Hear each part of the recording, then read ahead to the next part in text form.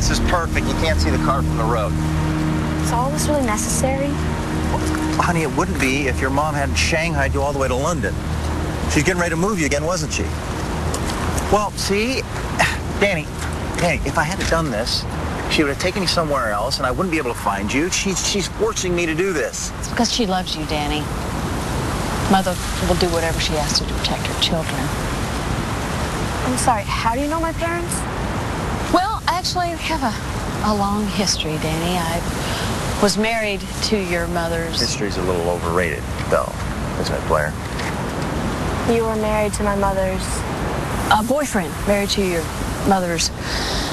Yeah, married to your mother's boyfriend. You know what? I don't know what you're looking for a car out here. I mean, the next dealership is 30 miles away. Hey, Dani, remember when we used to thumb rides down to Teahupo'o, catch the surf? Those are great waves, weren't they? The greatest. You, you think you can work your magic thumb here?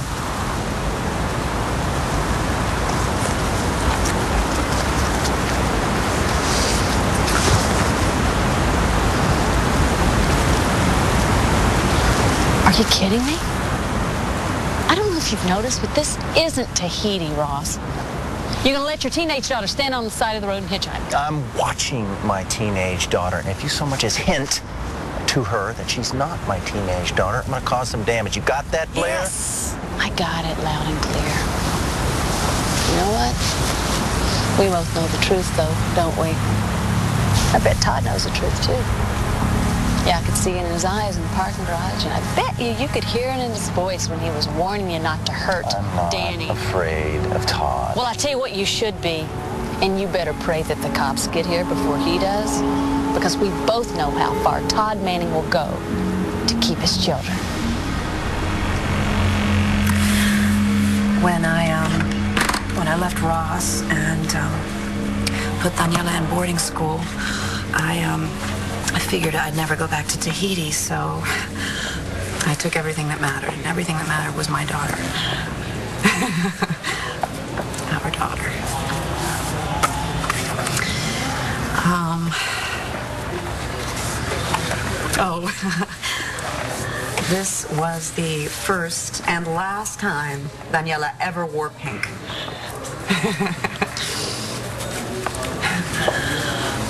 You got here. Oh. Cards. Yeah. Mo, you're gonna love this. Read that. Danielle is extremely bright, but she can sometimes be intolerant of students who are not up to her level. Good for her. Yeah. When I was away from her, this is this is all I had of her, and, and I'm glad to have it now. A poem by Dani, seven years old. My mommy is so pretty. My mommy is so smart. My mommy is the one I'll always love with all my heart.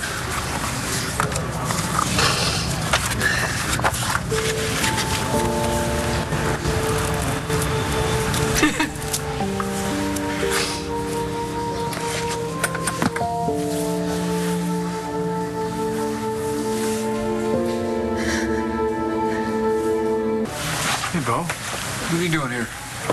Well, Nora and I uh, are here to take Matthew home. And we're worried too. You know, the situation with uh, Rayburn's daughter and Blair. Will you be helping with the search? I told Matthew I'd get him an update. I can't make any promises. I can promises. give you an update. These these idiots don't know their asses from deep center field. Man, you're not an easy man to want to help. And listen, I know that I'm I'm certainly not the first person you'd like to help, and Téa probably the second to last person. But you know we're talking about this young girl and Blair, so if you could, Oh, we're begging you. Okay, well, let me talk to the chief and see what I can do.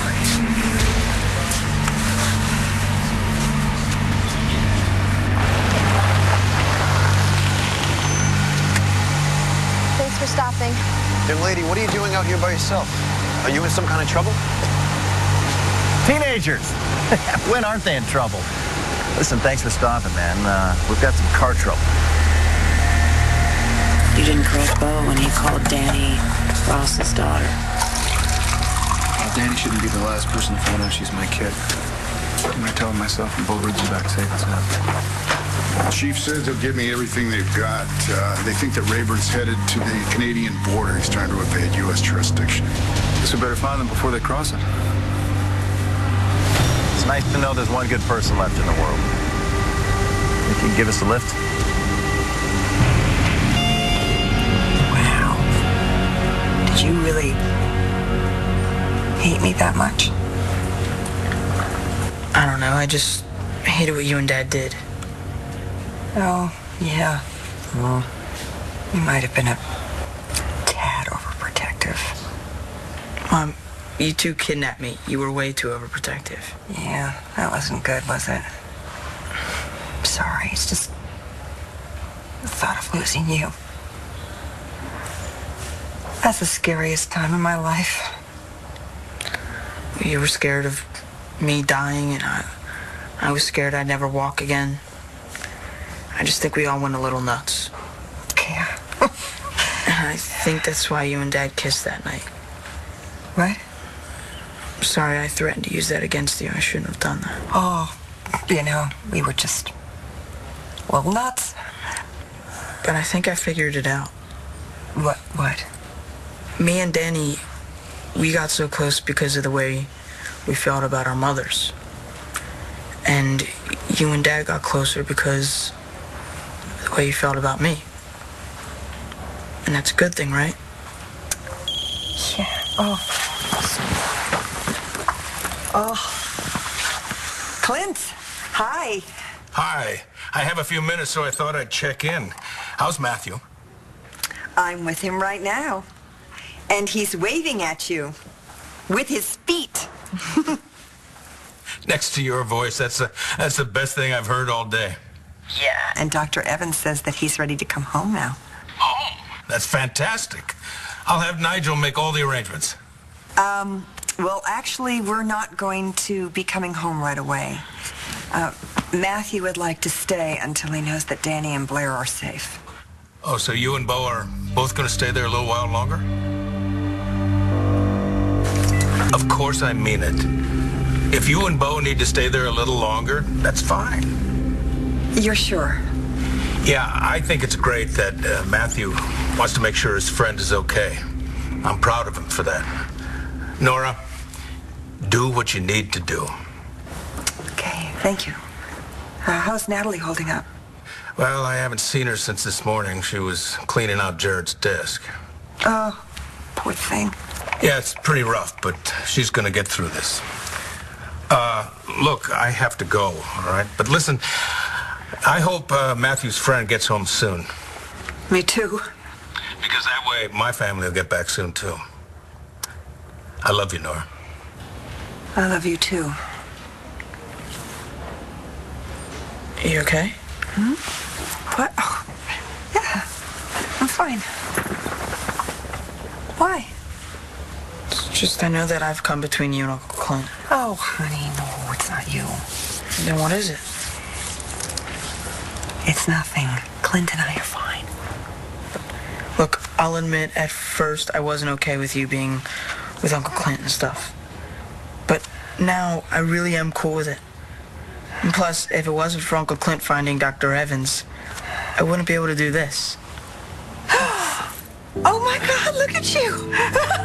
That's even better than last time. Mom, are you crying? I'm not crying. I'm not, I'm not, I'm not. I'm just, I'm just so happy to have my baby back. Oh gosh. I can only imagine what Téa's going through.